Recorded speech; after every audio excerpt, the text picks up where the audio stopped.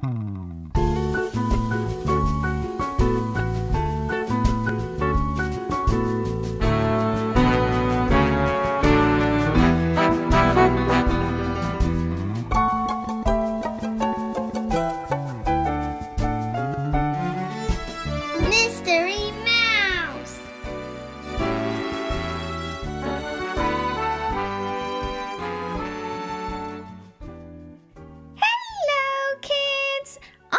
Mystery Mouse and I live in a church. Today, however, I'm on my way out to meet my two friends at the football field. Would you like to join me? Let's go! Oh, what a nice day! The sky is bright blue above me. Oh, there seems to be a bit of a wind, however. Oh, it's blowing me along. Oh, here I go. At least I'm going in the right direction. Mystery Mouse, is that you? I'm afraid so. But I'm awfully sorry to bang into you like this. It's all right. I thought you were a leaf. No, it's me.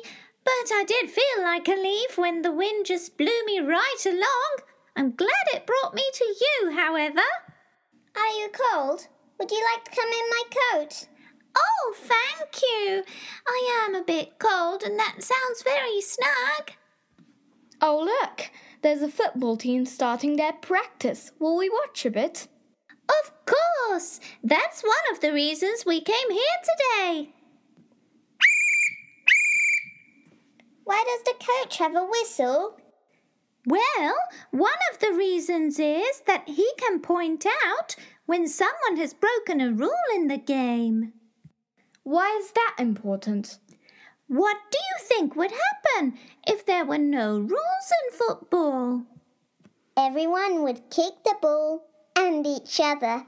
Yes, you're right. So the rules are really there to help everyone have a good game of football together. Can't they just make up their own rules? Well, I suppose they could. But what do you think would happen if all the players on the football field made up their own rules? It would be a great mess. And what if the coach made up his own rules just for his team? They wouldn't be able to play any matches together. Exactly.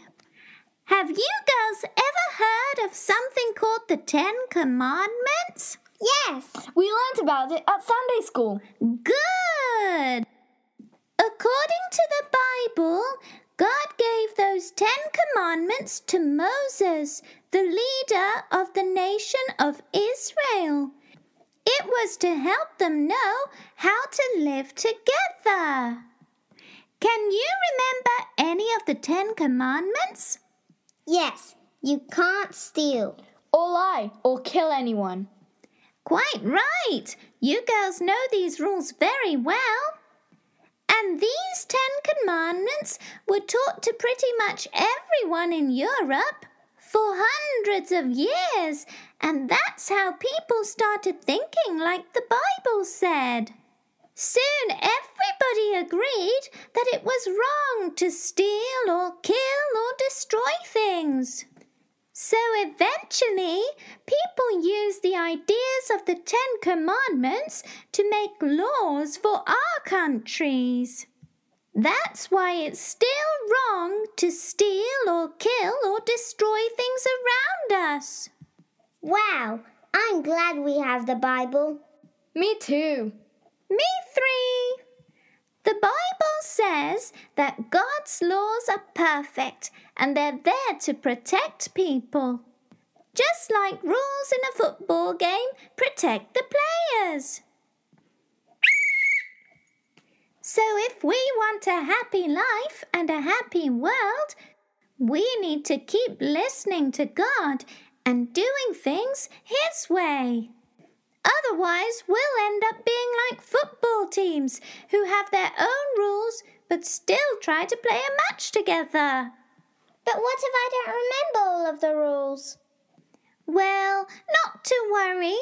Jesus actually summed up all of the commandments a bit like this Do to others what you would have them do to you. Oh, that makes sense. And it's easy to remember. I agree. Ooh, it's still very windy. I wonder how I'll get home in this weather. We can take you, Mystery Mouse. Really? Thank you. Off we go then. Oh, here we are. What a lovely walk we had. It was very snug in your coat. Thank that again. You're welcome. But where will we meet you tomorrow? Hmm. Don't you remember we need to go to the concert tomorrow? And first, we need to go shopping. I need a new pair of shoes. Sorry, Mystery Mouse, but we can't meet you tomorrow.